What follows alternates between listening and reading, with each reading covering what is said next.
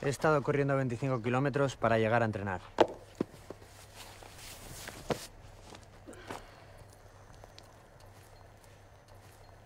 Who wants it?